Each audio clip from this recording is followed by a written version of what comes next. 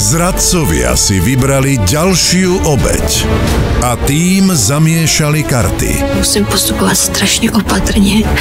Proč brečíš? Jak se říká nevěřníkům, podezírej všechny. Nemyslím, že ty bys tady dva dny na mě hrál to, že jsme kamarádi. Ale začína to škrípať aj medzi nimi. Jak se cítil a co se ti honilo hlavou, když jsme se potkali dopoledne?